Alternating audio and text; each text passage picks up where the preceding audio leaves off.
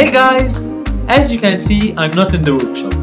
And that's because I will be staying for two months in the Netherlands. The Netherlands is an amazing country. It's full of nature. It has green grass, trees, ponds and rivers, which makes it great for FPV. But to get those nice shots, we need long range. My current transmitter, the Turnigy G9X, has a range of only 500 meters, which can be increased using the FrSky XJT module to 1.5 to 2.5 kilometers.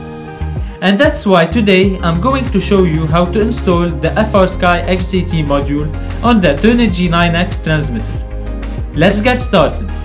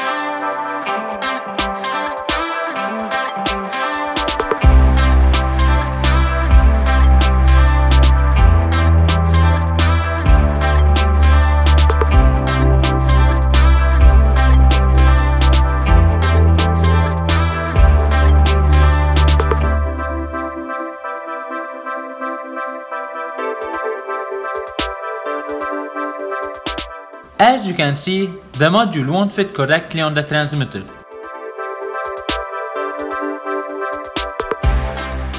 And that's because of this hole being too tight for those pins.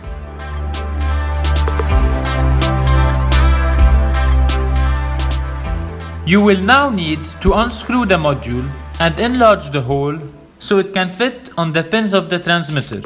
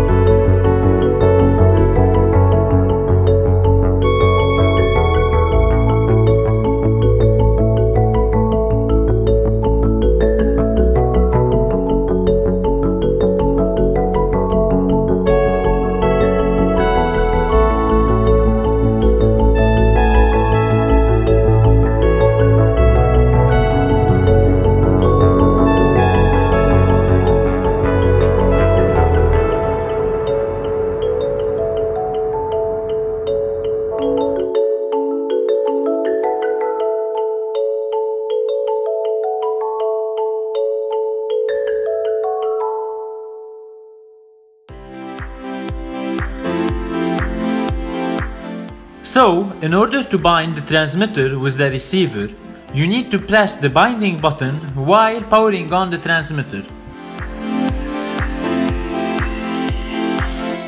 For the receiver, you need to do the same. Press the binding button before powering your quad.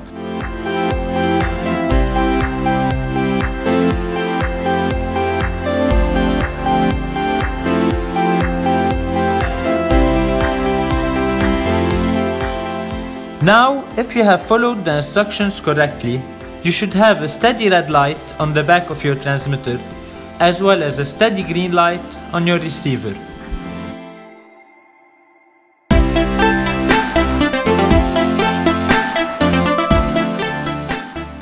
You will now need to connect your quad to Betaflight, and in the configuration tab, set the receiver mode to serial based receiver, and the protocol to SBUS.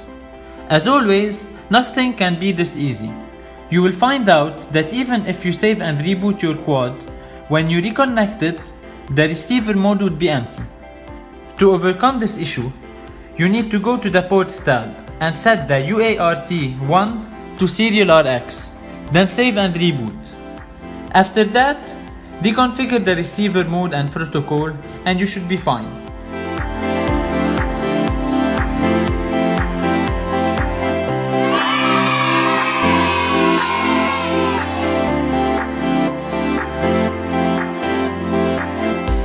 As you can see, the channels of the receiver are varying, which means that we binded and configured the transmitter and the receiver correctly.